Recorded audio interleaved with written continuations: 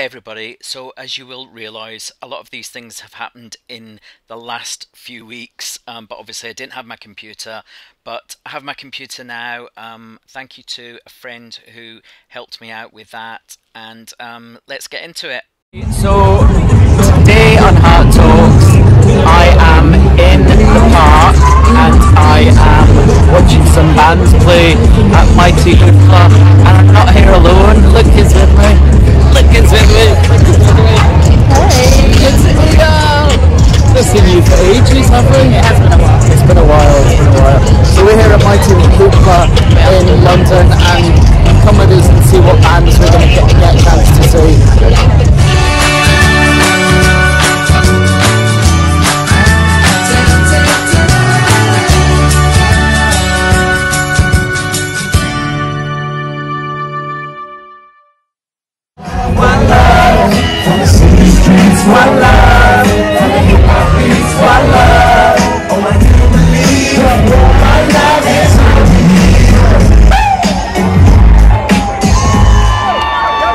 So good to be. Do you know what? We've been around for 22 years, and this is our first ever Mighty Hoopla. So I've just got backstage, and I've just seen Anastacia back there. It's looking beautiful. Oh yeah! And also, the guys from Steps are here. Uh, so listen, we're going on tour at the end of the year. It's uh, really exciting because we haven't been on tour for a long, long time you to help me sing this next song, alright?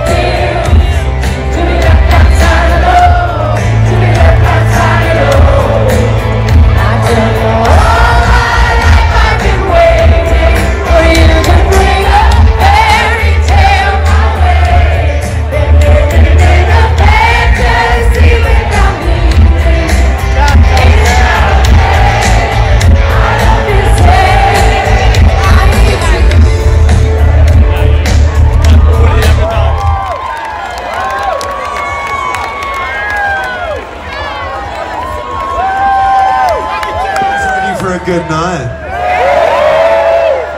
So the fuck am I? Oh my god, Gemma Collins, what the fuck? I'm a TSA. No way. I love the dictionary, it's a really good read. Look, Rylan, I was going for Barbie, it came out Gemma Collins says Patsy. What have you come as? I've come as Rylan 2012. We all remember that Spice Girl mega mix. Let's be honest, guys. Come on. Someone had to represent. No, do you know what? I'm not gonna lie, this is my first Mighty Hoopla. And two things. One, I'm drunk. And two, I'm now single. Are you single, Rylan? I'm single. And if anyone in the audience cares about that and wants to get in touch, what have they got to do, babe? Well, my Instagram DMs are open. and I'm checking them on the hour, every single hour. But I imagine not within the next hour because something very special is happening. Give it up! Thank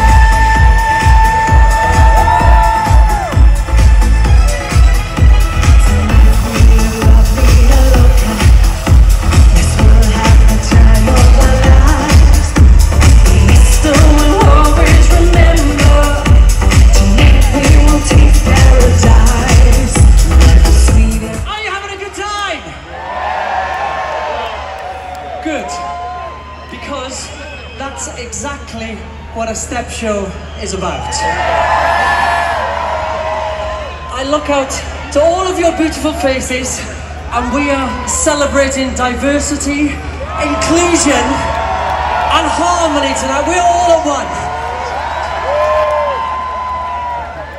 It doesn't matter how you identify. If you're straight, you're gay, you're bi, you're transgender, if you're an ally, this is the place for pure joy and acceptance tonight. You live your best lives. If I could tell nine-year-old H, who was afraid to go to school, who was bullied, who was beaten up, who was wearing his mum's dresses, that one day he will be standing on the stage loud and proud, and it's thanks to you guys!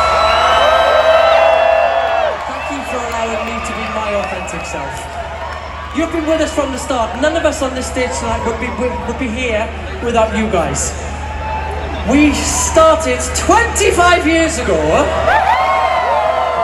Yes. With a little song called 5678. Oh, fantastic tonight. And you are so flamboyant. It is amazing.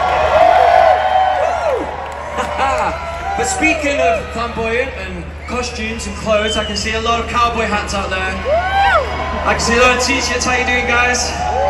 Well, we got anyone dressed up as a Steps member out there tonight? Anyone really gone for it? Yep, we've got one over here.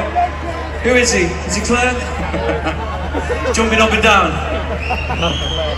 But it just goes to show all the love and support that you guys have shown us all over the years. And we do repeat ourselves in saying this, and I'm sure the guys will as the show goes on. We are so appreciative and we love you guys for it so much. We really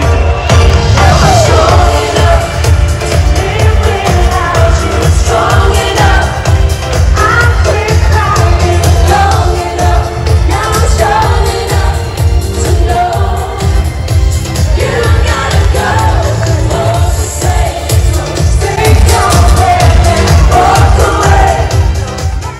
Everyone, so I am here at the Royal Albert Hall, the Royal Albert Hall where the Olivier Awards happen. Uh, I think the BAFTAs happen here now.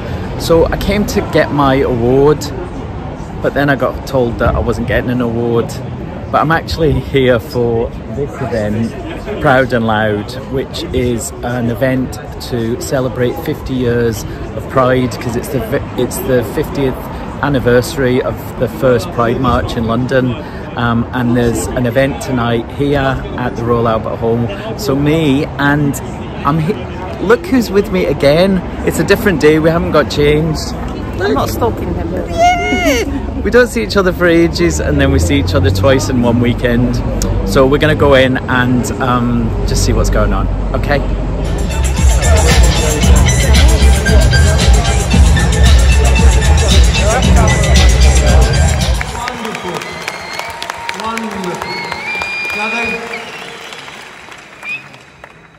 Asked me to make a speech, but I never do as I'm told, and I've always wanted to do this in the Albert Hall because it's got the longest gallery in any theatre. The boy I love is up in the gallery.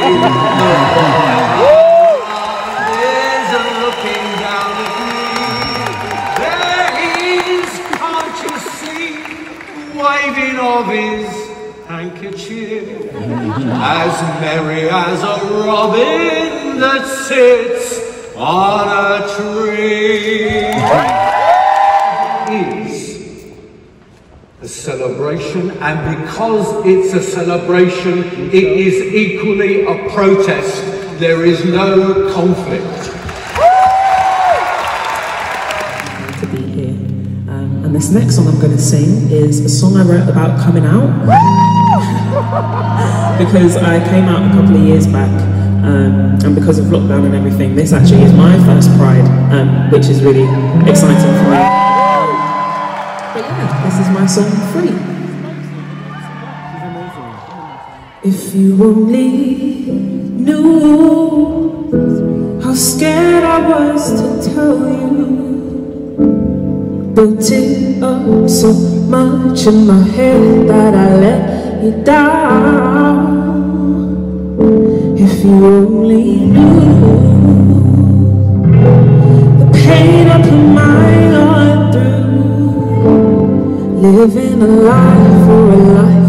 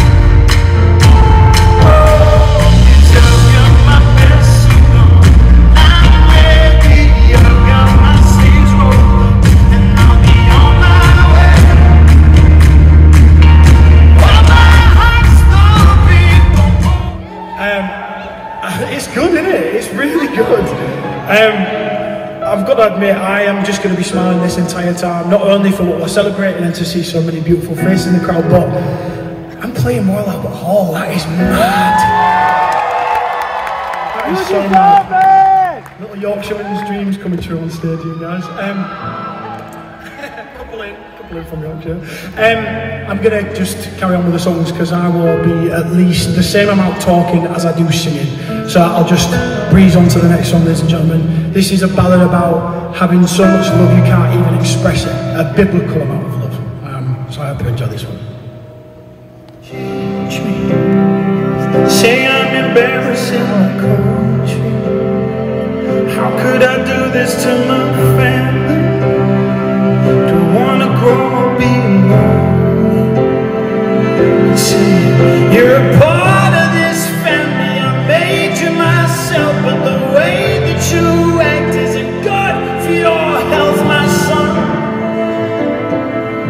Stop kissing boys in the street. My son, stop kissing boys in the street. You're just like my favorite song going round my head. Like my favorite song going round my head. You're just like my favorite song going round my head. Like my favorite song going makes you want to get up in the morning, and is your reason for living. Um, no clue. Um, but this is this is one of my favourites to perform live because for the last two years it's been awful and we've been stripped of being with those loved ones and to see a packed out crowd in the Royal Albert Hall. I mean, we're bringing all that love back, and I would like to dedicate this to every single one of you sat in this audience tonight because I feel the love. Hey everyone, so I am here at the London Lighthouse Gallery and I am here because do you remember a couple of months ago I did the video about More to Me Than HIV, the photographic exhibition that was done in Brighton? Well, it's come to London, so it's here until the end of the month. So if you're in London and you want to see it, it's a free exhibition um, and uh, you can come and see all the pictures that have been taken so far. Um, so yeah, that's why I'm here at the moment. So let's go in and have a look. Look, look, you're swishing. She's Again. swishing. She's swishing in the wind. Everybody, look who's back. It's Mina. So as you've probably seen in there, um, I was walking past Mina's photo. Um, she's looking very glamorous in it. She's looking very pretty. Um, Mina, why was it important for you to be part of this exhibition? I think just to kind of raise awareness that you know, you know, you can be anyone with HIV actually, and you live well with it. You've got to celebrate your life. You know, you can't pass it, and you can't pass it on HIV to anybody else anymore because you're on medication. Yep. It's amazing, like Yep. you know, and it's just to celebrate our diversity that we're all different.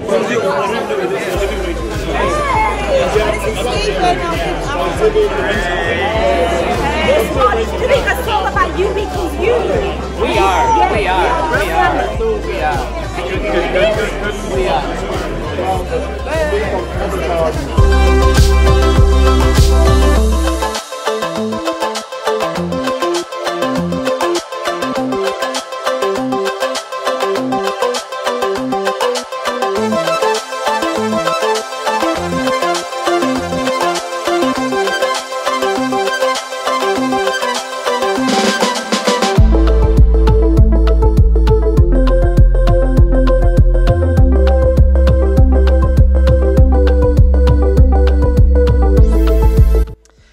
with my ultra glamorous friend Isabel um, because it was my lovely other friend Angie Brown's birthday party. So I was there celebrating with her.